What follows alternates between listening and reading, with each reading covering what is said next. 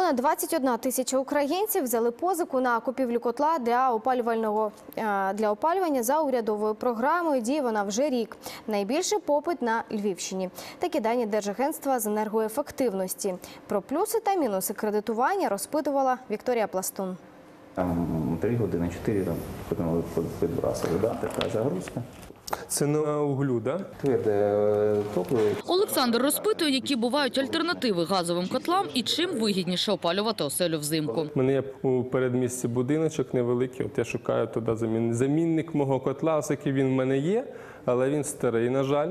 Він уже років йому 10, і він дуже багато бере газу, і це б'є по кишені. Зараз просто-напросто з такими високими тарифами, яку держава зараз зробила, вигідніше переходить на індивідуальне опалення. Сплатити ціну котла одразу Олександр не має можливості, тож планує оформити кредит. В урядовій програмі з енергоефективності визначені три банки: це Ощад, Укрсіб та Укргазбанк. Ви надаєте дуже стислий, дуже короткий такий пакет документів.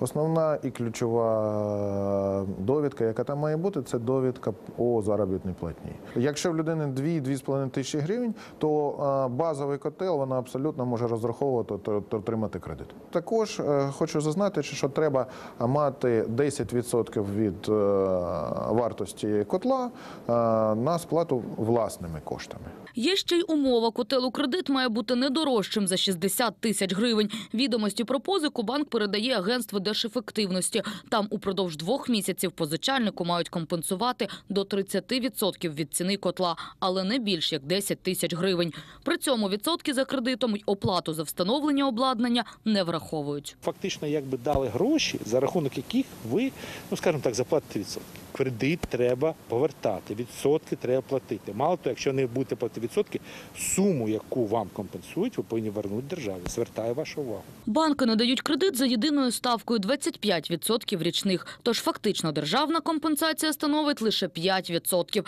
Але заступник міністра регіонального розвитку запевняє, нині програму енергоефективності вдосконалюють. Програми є 30-40, і на прошлому тижні були змі були зміни і 70%. Там буде відшкодування, може бути і тіло кредиту, тому що ми зараз ведемо переговори з місцевими органами влади для того, щоб вони в бюджетах своїх міст, е, вже в бюджеті місцевому заклали кошти на проценти. За словами урядовця, окрім котлів, українці можуть отримати відшкодування від держави, коли купують утеплювальні матеріали до будинку, болер, терморегулятор, лічильники води чи газу, замінюють вікна або двері. Вікторія Пластун, Дмитро Шанчук. Новини на першому.